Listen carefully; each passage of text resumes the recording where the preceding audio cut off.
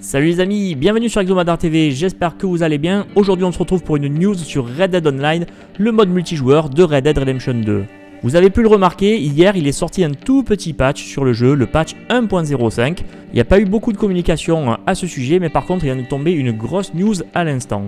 Rockstar vient d'annoncer que tous les joueurs qui auront participé à la bêta de Red Dead Online vont obtenir chacun 15 lingots d'or. Alors plus précisément, il faudra avoir joué au jeu entre le jeudi 13 décembre et le jeudi 20 décembre. Les joueurs qui ont donc joué dans ce créneau-là recevront 15 lingots d'or et tout ça sera délivré avant Noël, c'est-à-dire avant le lundi 24 décembre.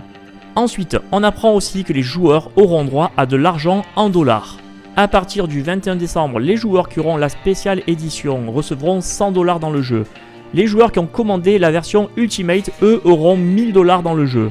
Et pour terminer, toutes les personnes qui auront précommandé le jeu auront en supplément encore 100 dollars.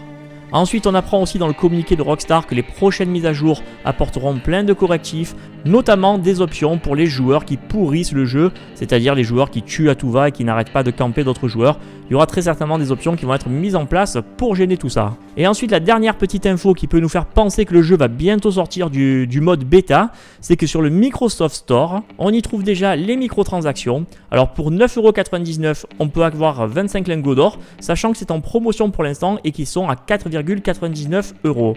Alors étant sur PS4, je ne peux pas tester, donc je ne sais pas si on peut les acheter euh, désormais. Ensuite, au niveau du prix le plus élevé, ce qu'on peut savoir, c'est que pour 350 lingots d'or, on payera 99,99 euros, bon 100 euros en gros. Voilà les amis, donc j'espère donc que cette news vous aura plu, que Red Dead Online va bientôt sortir en version officielle et qu'on aura de plus amples infos sur le jeu et que ça va, voilà, qu'on va vraiment pouvoir y jouer avec du contenu et des grosses mises à jour.